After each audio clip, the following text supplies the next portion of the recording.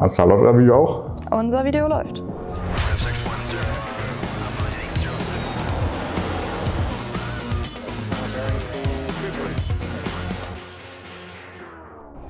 Und damit willkommen zusammen zu einem neuen Video bei atc.tv und äh, heute zu einem neuen Format im Aviation Talk.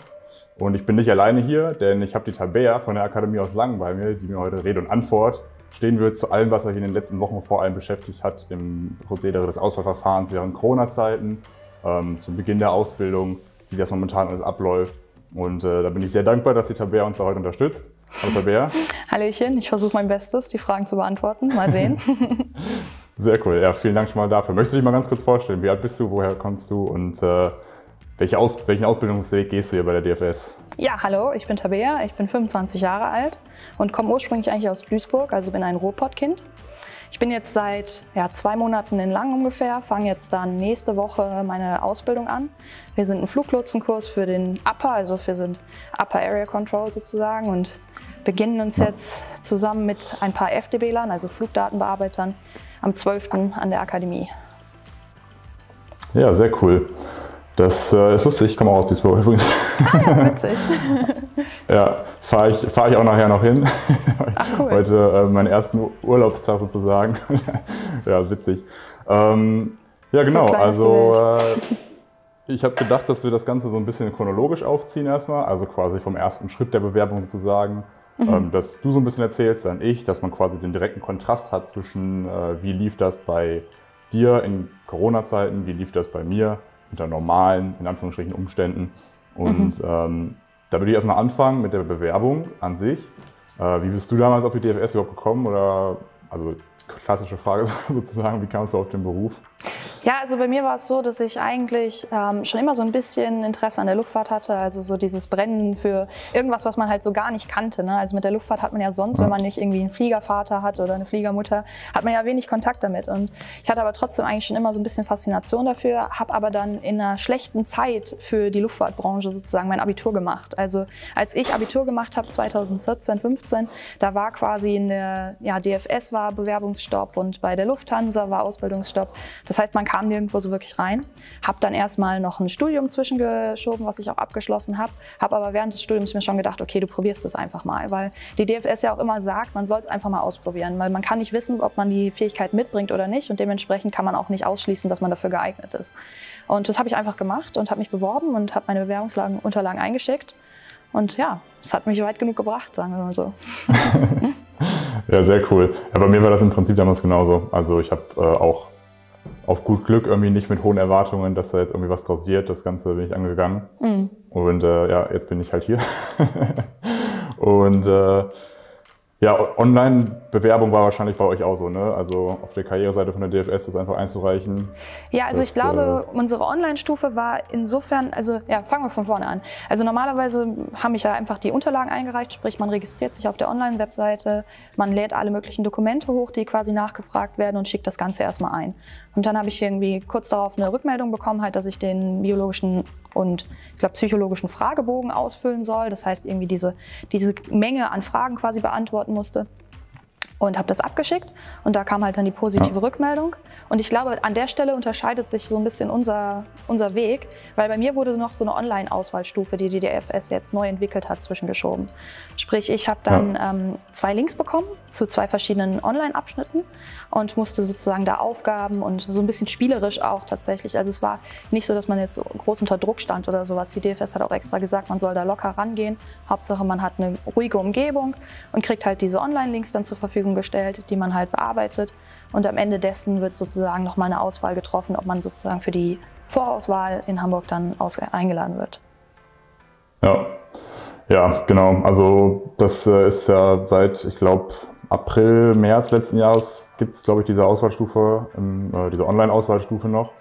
Und äh, da hatte ich schon mal drüber erzählt, ähm, so ein bisschen auch in einem Video, das ist halt nicht dafür da, um wegen Corona das irgendwie nach Hause zu verlagern. Das war sowieso schon immer vorgesehen. Und das war natürlich jetzt mega passend, dass das quasi zur Corona-Zeit eingeführt wurde, ähm, da die Kapazitäten ja in Hamburg auch deutlich reduziert wurden. Und es dient einfach nur dem, weil die DFS wirklich die hatten, hatten Auswahltests ähm, zwei bis äh, vier Tage die Woche mit Kapazitäten von 50 Leuten, also wirklich mhm. sehr, sehr viel zum Teil. Und ähm, um das Ganze so ein bisschen zu entlasten, hat man eben diese Auswahlstufe dazugenommen. Die kann euch weder vorteilig noch nachteilig ausgelegt werden. Ich hatte in einem Video mal äh, Tipps gegeben, wie äh, ihr euch darauf vorbereiten könnt. Ähm, das hat alles damit zu tun, ruhig rangehen, ruhige Umgebung, ausgeschlafen sein äh, und zumindest so ein bisschen wissen, was äh, die DFS so macht und was einen selber als Person auch ausmacht. Ja. Ähm, kannst du so ein bisschen vielleicht erzählen mal, wie dieses Online, dieser mhm. Online-Test genau aussah? Also hast du dich da online eingelog äh, eingeloggt oder war das ein extern? Ja. Ähm, und ähm, was jetzt nicht spezifisch, aber generell so ein bisschen oberflächlich, was da für Fragen bzw. Themengebiete äh, abgecheckt wurden? Ja, also es ist schon ein bisschen her bei mir jetzt. Also es war ganz über März 2020. Aber effektiv sind es zwei verschiedene Teile. Also der erste Teil ist ein bisschen ja, ich sag mal, theoretischer. Das heißt, man bekommt verschiedene Aufgaben, die man auch aus normalen ähm, Bewerbungsvorgängen ja, oder sowas erwarten würde. Sprich, es ist sowas wie, vervollständigen Sie die Zahlenreihe. Ähm, oder welches Muster könnte als nächstes in dieser Folge von Mustern kommen und sowas. Also so ganz typische, ja, ich denke mal, Konzentration beziehungsweise auch so ein bisschen ja Denkansprüche und sowas. Also ganz typische Aufgaben. Ja. Der zweite Teil war für mich ein bisschen ja, spaßiger und ein bisschen dynamischer. Also es macht tatsächlich relativ viel Spaß auch, denn man kriegt sozusagen so eine Einladung, also einen Einladungslink und so Verifizierungscodes für so eine Webseite, auf der ja mehr oder weniger Spiele eigentlich mit einem gespielt werden. Also man spielt verschiedene mhm. Online-Spiele, die halt alle so ein bisschen abzielen auf so ja, unterschiedliche Aspekte, denke ich mal. Also es geht da um Merkfähigkeit, sprich man muss sich verschieden, also ich will nicht zu viel, zu viel weggeben, weil man kriegt das alles ganz äh, eindeutig erklärt. Also man bekommt am Anfang eine lange Erklärung, man bekommt Übungen. Es ist überhaupt nichts, wo man sich jetzt irgendwie stressen muss oder sowas, weil es wirklich sehr einfach aufgebaut und sehr verständlich ist. Und ja, man muss sich so keine Symbole merken in verschiedenen Farben zum Beispiel. Oder Reaktionsgeschwindigkeit wird ein bisschen getestet. Sprich, man sollte, glaube ich, echt dafür sorgen, dass man in einer ruhigen Umgebung ist, dass man vernünftig wach und ausgeschlafen ist, um halt einfach, ja, diese Reaktionsgeschwindigkeiten, da geht es halt dann recht schnell von links nach rechts und man muss halt ein bisschen darauf aufpassen. Sprich, das ist schon so eine Sache, wo man ein bisschen, ja, ruhig und ausgeschlafen für sein sollte. Ja. Ja, das ist schon mal relativ äh, interessant zu hören, weil ich persönlich habe auch also bevor ich mit dir gesprochen habe, habe ich glaube ich noch nie mit jemandem gesprochen, der diesen Online-Test selber durchlaufen hat. Mhm. Ähm, also ich habe immer mal wieder so Mails und da ja, Kommentare bekommen, wie sehen die Online-Tests aus und so. Und dann habe ich auch mal versucht, äh, mal jemanden zu finden. Deswegen finde ich das total interessant, jetzt auch mit dir darüber zu quatschen. Ähm, bei uns war das ja so, dass man quasi nach der Bewerbung hatte man nur in Anführungsstrichen den ersten Teil, den du auch hattest, also diesen mhm. psychologischen Fragebogen, ähm, der ungefähr eine Stunde, glaube ich, insgesamt äh, ausgemacht hat. Und dann ging es halt dementsprechend danach direkt nach Hamburg zur Voruntersuchung zur ersten Auswahlstufe in Hamburg. Mhm. Ähm, wie war das denn bei dir? Also zeitlich, wie lange musstest du nach dem Online-Test auf dein Ergebnis warten und ähm, wie hast du damit beteiligt bekommen, ob du und wann du für wie lange nach Hamburg musst? Ja, also bei uns, wir waren am Anfang so ein bisschen die Ausnahme, weil wir sind einer der ersten Voruntersuchungskurse gewesen, die tatsächlich durch Corona betroffen wurden. Das heißt, bei uns war es eigentlich ja. der Plan, dass wir Anfang März unsere VU in Hamburg gehabt hätten. Allerdings hat mehr oder weniger fünf Tage vorher Hamburg dicht gemacht.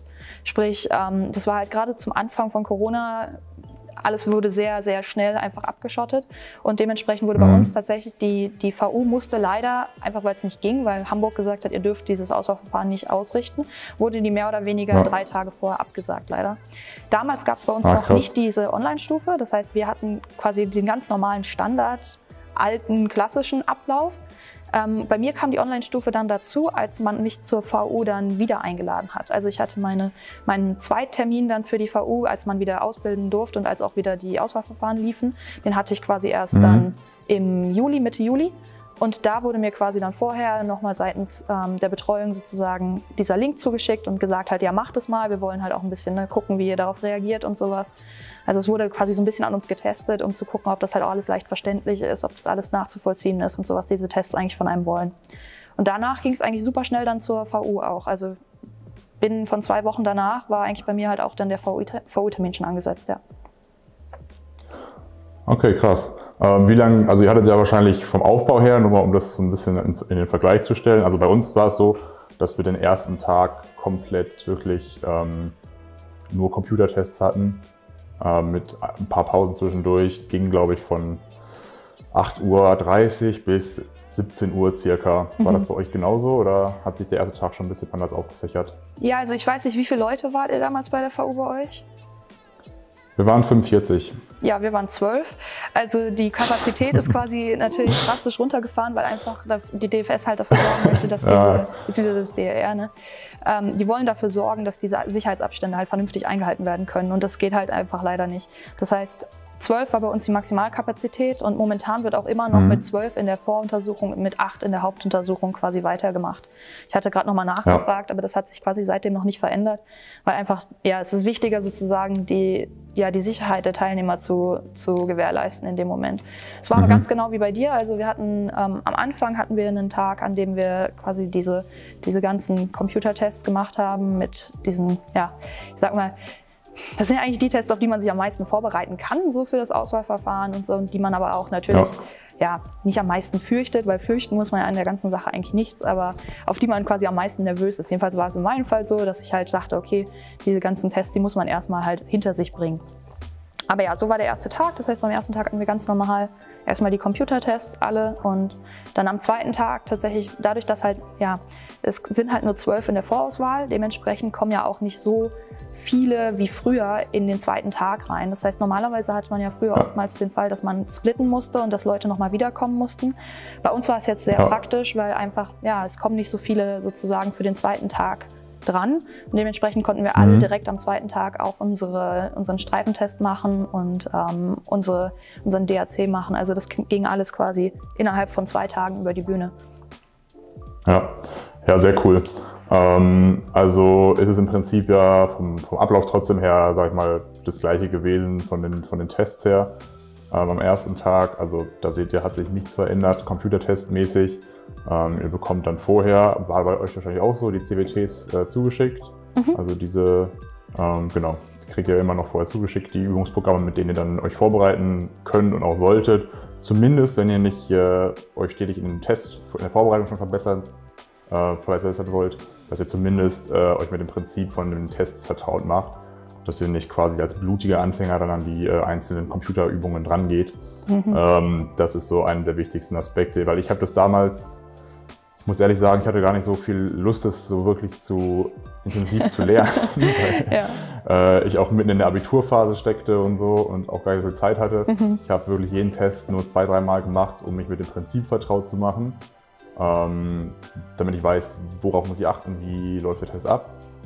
Ja. Ähm, was jetzt euch aber nicht dazu äh, motivieren soll oder ermutigen soll, dafür nichts zu tun, ähm, sondern einfach nur, dass es zeigt, dass es echt wichtig ist, euch vorher zumindest anzugucken, ähm, um was es in diesen, in diesen Tests geht. Genau.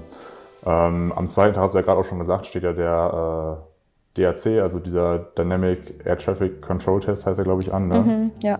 Ähm, hatte ich in einem Video mal zur VU erzählt. Da geht es darum, äh, Flugzeuge durch einen virtuellen Schlauch zu lotsen ähm, per Tastatureingabe bzw. Touchscreen-Eingabe und parallel dazu kriegt ihr dann noch äh, ein paar äh, Aufgaben auf die Ohren sozusagen gestellt, wo es dann darum geht zu entscheiden, ist die äh, Aufgabe jetzt richtig oder falsch äh, ja. präsentiert worden ähm, im Sinne von, äh, vom Ergebnis und den Streifentest, wo man ähm, ausführlich auch erklärt bekommt, dass man da seine Flugstreifen ähm, in die richtigen Reihenfolge bringt und äh, dabei möglichst wenige Fehler bei macht, wobei das auch nicht schlimm ist. Es geht ja immer bei den Tests, das darf man ja nicht vergessen, immer vor allem um die Verbesserung, also dass man sich von Test zu Test im Laufe des Fortschritts da äh, ein bisschen verbessert, eine Lernkurve zeigt. Und äh, ja, ja, ich glaube, das war wahrscheinlich bei euch auch nicht anders vom, vom Testprinzip dann her, ne? Nee, die Prinzipien waren alle komplett gleich. Also die Tests liefen alle vom, vom Aufbau her und so lief das alles komplett gleich ab. Und ich muss auch an der Stelle sagen, also für mich also das wird, ich hatte damals mir tatsächlich witzigerweise von deinen Videos ein paar angeschaut, ähm, bevor ich quasi in die VU gegangen bin. Weshalb das jetzt so eine, so eine komische Schleife im Kopf auslöst. Aber ähm, ja, also man kriegt es zwar immer gesagt, so nach dem Motto, okay, ihr müsst euch keinen Druck machen, ihr müsst keine bestimmte Punktzahl erreichen. Es geht nicht darum, irgendwie ein gutes Ergebnis abzuliefern, sondern es geht darum, dass ihr zeigt, dass ihr quasi ja, einfach dran bleibt, am Ball bleibt und vernünftig halt das Ganze bearbeitet. Man ja. denkt das zwar, aber irgendwie verinnerlicht man das, finde ich, nicht so einfach. Also ich muss sagen, ich habe das damals auch mir fünfmal angehört und habe das auch ne, wahrgenommen, so, also rational wahrgenommen, aber trotzdem war es irgendwie so, dass ich dachte, okay, ich muss in diesem Test jetzt unglaubliche Leistung zeigen oder sowas. Und das ist einfach nicht der Fall, glaube ich, weil bei mir die beiden, also die drei Durchläufe vom DAC waren wirklich nicht gut. Also objektiv gesehen von außen quasi waren das jetzt nicht irgendwie Glanzleistungen oder sowas. Da ist einiges schiefgelaufen. Aber ich bin halt die ganze Zeit am Ball geblieben und habe versucht sozusagen, ja, einfach das Beste draus zu machen und dafür zu sorgen, dass besonders irgendwie Unterschreitungen von den Abständen und sowas nicht zu, zustande kommen.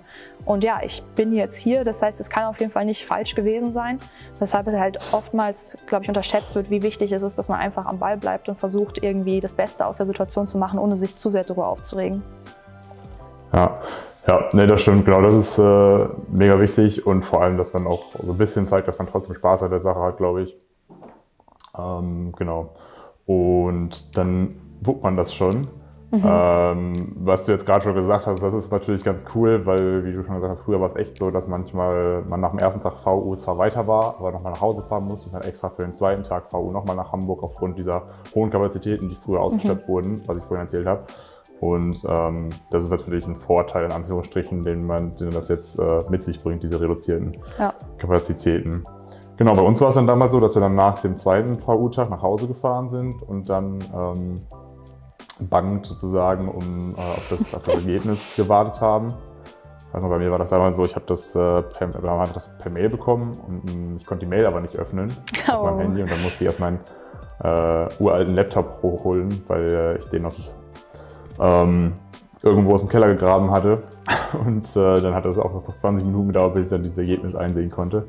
Das war auf jeden Fall ein bisschen äh, nervend aufreibend. Der Horror eines Aber, jeden Bewerbers, nicht wissen, ob es funktioniert ja, oder nicht. Nee, ja. genau. Und das, das war circa sieben Tage nach der, nach der VU, glaube ich. Wie lange hat das bei dir dann gedauert, bis du dann Das ging super schnell. Also das ging tatsächlich super fix. Also ich glaube, wir waren drei Leute, die es sozusagen in den zweiten Tag von der VU geschafft haben. Und unsere Rückmeldung mhm. kam, glaube ich, fünf, sechs Tage danach. Also fünf, sechs Tage danach kam direkt die E-Mail e und sowas, wer es weiter geschafft hat und wer nicht. Und ja, die, cool. die DFS hat versucht, die ganze Zeit Informationen zu senden, weil es ja eine sehr unsichere Art der, des Ablaufs war. Also es war ja für uns komplett Neuland und für die genauso Neuland. Aber sie haben eigentlich versucht, die ganze Zeit irgendwie Updates zu senden. So, ja, okay, das passiert jetzt gerade bei uns, die Regelungen haben wir gerade und so und so geht es jetzt weiter. Also da versuchen die einem schon irgendwie auf dem Laufenden zu halten. Anders als, als ja. teilweise andere Unternehmen, die halt komplett dicht gemacht haben und gar nicht mehr wussten, was passiert. Ja. Ja, nee, das, äh, das glaube ich. Wie war das in, in Hamburg dann bei der VU oder auch später dann bei der HU ähm, mit also klar Abstand halten, aber hattet ihr zwischen den Computertests Trennwände? Musstet ihr während der Tests vor allem musstet ihr eine Maske tragen oder nicht? Mhm. Wenn ja, wie sehr hat sich das äh, beeinflusst oder hattest du das Gefühl, dass das beeinflusst hat? Ich muss tatsächlich, also ich habe ja keinen Vergleichwert, aber ich muss sagen, ich fühlte mich durch die Maßnahmen jetzt nicht beeinflusst, weil man trägt halt immer eine Maske, wenn man nicht in der Prüfungssituation ist. Sprich, es ist so, dass man okay. quasi bei Betreten des Gebäudes eine Maske anzieht und währenddessen auch die ganze Zeit aufbehält. Aber sobald du an deinem Arbeitsplatz sitzt und die sind halt räumlich getrennt, sprich, es gibt keine Trennwände oder sowas, jedenfalls gab es die bei mir damals nicht, ähm, sondern es ja. ist halt einfach, es wird nur jeder vierte Platz oder sowas halt einfach besetzt, um halt den Leuten genügend Platz zu geben. Ich habe es um ehrlich zu sein, als ziemlich entspannt empfunden, weil der Raum war viel weniger voll, als er halt hätte sein können. Das heißt, es gab viel weniger Leute, die halt irgendwie einen hätten ablenken können. Und ja, man darf halt, sobald man am Platz sitzt, die Maske abnehmen. Dementsprechend habe ich auch während der Tests jetzt nicht irgendwie eine Einschränkung gehabt oder sowas. Mhm. Und das war eigentlich alles sehr entspannt. Also ich muss sagen, für mich war es fast ein Vorteil, dass halt ein bisschen weniger los war einfach. Also weil nicht so viele Leute ja. da sind, die einen ablenken können. Ja, das glaube ich. Aber das war nämlich auch eine offene Frage, ob man nämlich beim Test selber eine Maske tragen muss, aber das ist also nicht der Fall. Ne? Also bei mir war es jedenfalls nicht der Fall und ich glaube auch nicht, dass es seitdem sich geändert hat, weil halt eben da die räumliche ähm, Trennung genügend gegeben ist. Ja, na cool. Ähm, genau, dann ging es ja dann irgendwann zur HU. Bei mir war das damals relativ, ich hatte die VU im November und die HU dann, glaube ich, anderthalb Monate später, Anfang Januar. Die erste HU war mal 2018 in mhm. unserer Truppe. Ähm, und wie lange hat es bei dir gedauert? Dann? Ich hatte Mitte Juli meine VU und ich hatte Anfang September meine HU. Also, oh, also auch ungefähr genauso lange. Ja, also ja. anderthalb bis zwei Monate ungefähr, ja. Ja, genau. Na, bei der HU hatte ich ja in dem Video auch schon mal erzählt, dass, äh, dass da viel um eure Persönlichkeit geht und euer Auftreten in der Gruppe und so. Mm, die Tests hatte die auch quasi dann unter normalen Umständen in Anführungsstrichen machen können. Also die Gruppentests in der Dreiergruppe und den äh, äh, Zweier-Team-Test. Ja, also beim Zweier, also beim Zweiertest, also diesem Straßenbeladungstest, ähm, da war es so, dass wir halt ja sowieso den Abstand gegeben hatten. Wie es so aufgebaut ist, man kommt sozusagen in den Raum rein und hat irgendwie diese zwei Konsolen, an denen man arbeitet. Und die Leute, die halt einem dabei so ein bisschen zuschauen und über die Schulter blicken, sitzen dann hinter so einer Trennwand. Sprich, die haben halt ein bisschen mehr ähm, ja, Absicherung sozusagen dir gegenüber. Aber ja. das ist eigentlich, also auch da ist es wieder so, du darfst die Maske absetzen, sobald du am Platz sitzt und so und wirst dann nicht beeinträchtigt durch irgendwie die Maßnahmen. Ja. Bei dem Vierer-Test, also bei diesem Gruppentest in der Großgruppe quasi, bei dem man so ein bisschen diese Flugstreifen bearbeiten muss, da war es bei uns so, dass wir so Trennwände hatten. Sprich, dieser, das ist so ein runder Tisch und der wird einfach durch vier geteilt durch so Trennwände. Das ist so ein bisschen lustig mhm. gewesen bei uns, weil dadurch hat man halt natürlich nicht so einfach Zugang zu den Streifen von anderen Leuten und sowas. Das heißt, wir haben dann immer die Streifen so unter dieser Trennwand durchgereicht und so, aber das, also ich muss sagen sowieso, der, der Teamtest ist so entspannt, weil man halt eigentlich ja mit mhm. Leuten da sitzt, die man jetzt schon ein bisschen kennt die man schon irgendwie ja. vom, vom, Hotel auch kennengelernt hat und die man schon so ein bisschen ja kennenlernen konnte in Einzelgesprächen und so auf dem Gang oder irgendwie. Und das ist so entspannt, dass es da überhaupt keinen Einfluss macht, ob da jetzt eine Trennwand steht oder nicht. Also solange du mit ja. den Leuten irgendwie gut klarkommst und das ist eigentlich immer der Fall, weil es alles entspannte und offene Menschen sind. So jedenfalls alle, die ich kennengelernt habe in diesem Auswahlverfahren, waren alle vom Typ her super zugänglich. Und deswegen, ja. das war super, super witzig und spaßig für uns, obwohl da Trennwände standen weil ich fand das ja. persönlich echt wichtig und fand das auch cool, dann schon neue Leute kennenzulernen, vor allem die, die dann auch bestanden haben. Und ich glaube, das lohnt sich für jeden, sozusagen das einmal auszugeben. Wie bei mir zum Beispiel, ich hatte noch kein Abitur, also dass ich das Abitur noch erreiche, dann äh, und unter anderem die medizinische Tauglichkeit. Also die Reisekosten mhm. wurden ganz normal wieder erstattet. Nee, hier geht's gut ab, also hier ist schon ordentlich was los.